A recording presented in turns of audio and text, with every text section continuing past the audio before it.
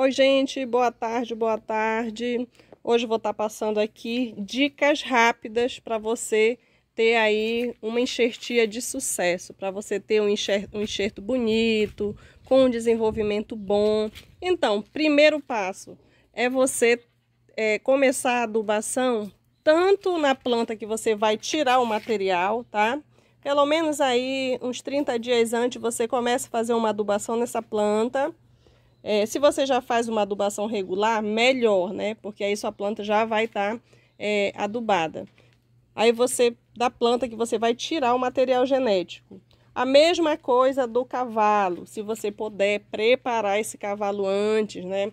Às vezes você compra aí um cavalo, às vezes ele está ali, né?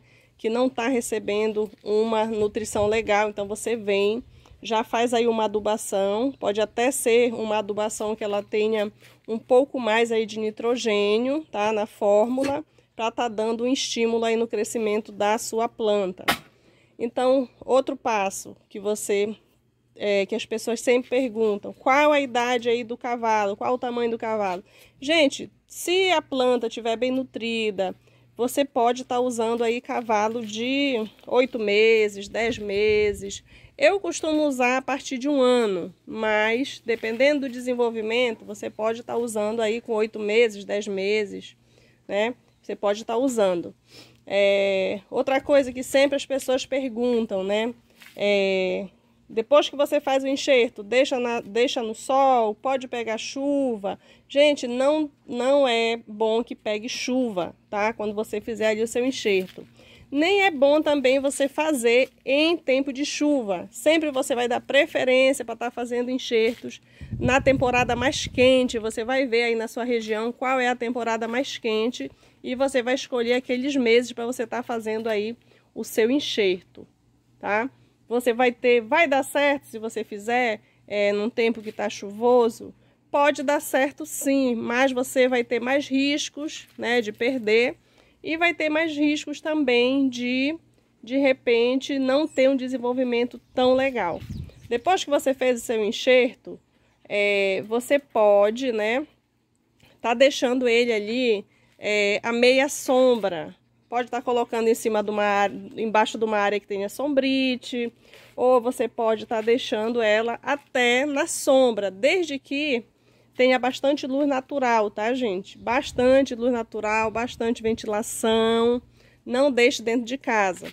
É, sempre que eu faço, eu gosto sim que os meus enxertos, né, novos, é, peguem pelo menos um pouquinho do sol da manhã. Sabe aquele primeiro solzinho que até umas 9 horas, uma meia hora de sol da manhã, uma hora de sol da manhã, que o enxerto pegue, eu já acho que estimula mais o crescimento e também a brotação. Até a quantidade de brotação pode estar estimulando, tá, gente? Então, outra dica aí para vocês. Quanto à questão da rega, ah, pode regar a planta? Pode regar. Mas você vai regar se tiver seco o substrato. Se não tiver, não tem porquê, né? você fazer essa rega. Então, a rega continua do mesmo jeito. A adubação, você pode estar tá adubando depois que você fizer o enxerto também. Como eu já falei, na a, a primeira adubação, você pode estar tá usando é, um adubo que ele seja aí mais, mais é, que tenha uma concentração maior de, de nitrogênio. Mas isso você vai fazer, gente, só ali na primeira adubação. Depois você volta aí para uma adubação normal. Para quê? Para que você não tenha um enxerto que vai crescer muito, porém vai ser um enxerto que vai crescer com o galho muito fino, é um galho molenga, né, estiolado, então não é isso que a gente quer.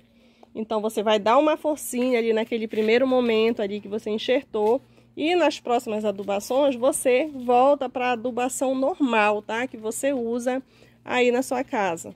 É, ah, Catiana, mas como eu vou saber qual o adubo né, que é mais rico em nitrogênio? É só você dar uma olhadinha lá na fórmula do NPK, que nessa fórmula do NPK vem uma numeração e você sempre vai ver se, nesse caso, né, que a gente está querendo aí um crescimento um pouco mais rápido, você vai ver se lá no N a numeração é maior. Então, a numeração tem que ser maior, tá, gente? Então, é, outra dica aí, né, para essa questão aí de enxertos, é você, antes de fazer o enxerto, quando você for ali, estiver ali preparando, né, a sua planta para fazer a poda, quando eu digo preparando a planta, é aquela de onde você vai tirar o material genético, tá? Você vai fazer uma desfolhagem, tá, gente? Ai, não consigo tirar esse mato, eu tiro. Você vai fazer uma desfolhagem, olha, na planta, você vai tirar todas as todas as folhas, pelo menos ali uma semana antes, uns 10 dias antes, você vem e tira todas as folhas. Por quê? Porque você vai ter aí uma brotação mais rápida. Porque quando você faz a desfolhagem da planta, o que é que acontece? Ela entende, né, que ela precisa é, produzir mais folhas.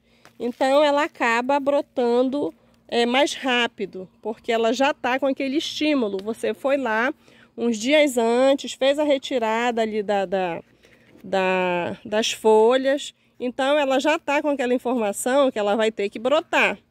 Então, quando você corta esse material genético para você estar tá fazendo o, o seu enxerto, ele já está com um estímulo a mais e a tendência é brotar mais rápido, tá bom? Então isso daí é uma dica aí que fica aí para vocês. Quanto à questão, né, tem gente que pergunta se a planta tem que ficar, né, sem tem que ficar sem sem sem regar, né, antes de fazer o enxerto. Gente, eu não, não costumo usar isso, tá? Mas se você quiser deixar sem regar, né, pode deixar. Eu geralmente deixo é, a planta é, eu faço as minhas regas normais, eu rego, secou, eu vou lá e rego, tá bom? Eu não costumo fazer esse preparo não, de deixar a planta sem água antes de fazer enxerto. E eu já venho trabalhando assim, já tem um tempinho aí, né? Tem uns 10 anos aí e tem dado certo, tá, gente? Mas isso daí é opcional. Olha como é que tá aqui de mato, é porque choveu tanto a semana passada e é rápido que cresce, né? Já tá meio grandinho, cresce rápido. Então, gente, é... outra, outra coisa também que sempre aí o pessoal pergunta, é, às vezes compra o cavalo, né? A pessoa quer replantar. E aí, depois que eu replanto, com quanto tempo que eu posso estar fazendo esse enxerto? Eu sugiro que, se vocês replantarem, dependendo do replantio, né? Se for planta viajada, que viajou, que veio raiz nua, e você quer estar tá fazendo enxerto, eu sugiro que você deixe aí pelo menos uns 15 dias é, após o replantio para estar tá fazendo, né, é, a sua, para estar tá fazendo a sua, o seu enxerto, tá? Deixa a planta ali se acomodar, dar uma recuperada ali da viagem, para poder você estar tá fazendo aí o seu enxerto. Mas é, se for mesmo necessário você tá fazendo esse replantio, se você achar que é necessário. Aqui, ó, tem uma planta aqui apodrecendo, olha aí. Tem que vir cortar aqui essa ponteira para não baixar esse apodrecimento. Então, eu acho que é isso. Se ficou ainda alguma dúvida aí, vocês deixem aqui embaixo, que no outro vídeo, né, eu posso estar tá falando um pouco mais. E também, gente, também me perguntaram agora esses dias, né? Para que que serve esse negócio de enxerto? Então, o enxerto ele vai servir para quando você quiser, né? Multiplicar, você quiser fazer é, é, mudas de uma flor diferente, de uma flor especial, que você não consegue ela facilmente de, de, de semente, que você vai precisar ali é, de um enxerto, né? Para você ter uma planta exatamente igual a outra, ter a flor igual, para você ter certeza que a flor vai sair é, igual a que você está querendo. De semente a gente nunca sabe como é que vai sair, tá? Então, essa é a finalidade do enxerto. Você é, fazer uma cópia, digamos assim, né? De uma planta. Você vai pegar aqui, olha, uma planta que tem a flor simples, né? Você vem, pega um pedacinho aqui de outra que tem uma flor negra, tira um pedacinho, enxerta aqui. E o que, que vai acontecer? Esse pedacinho que você enxertou, olha aqui o pedacinho, ele vai crescer e vai produzir flores negras, tá? Então, esse é, é o principal é, objetivo do enxerto. Outro é que a planta enxertada ela floresce rápido.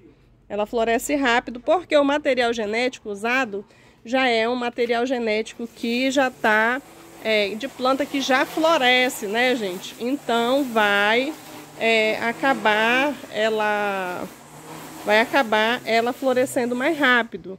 Outra coisa também, né, aí do do enxerto é que você pode ter mais de uma cor na mesma planta.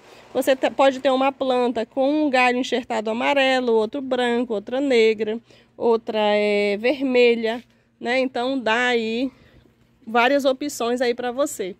E também outra dúvida é se pode fazer enxerto, né, entre espécies diferentes. Pode. Você pode pegar material genético de obesum e fazer enxerto em arábico. Pode fazer, pegar material genético de mini e fazer enxerto em obesum ou arábico. E assim das outras variedades e espécies também, tá, gente? Dá para fazer também. Então é isso, um grande abraço, fiquem todos com Deus e até aí o próximo vídeo. O sonzinho que vocês ouviram aí no fundo é porque estão roçando aqui perto, né? E é o som da roçadeira. Grande abraço.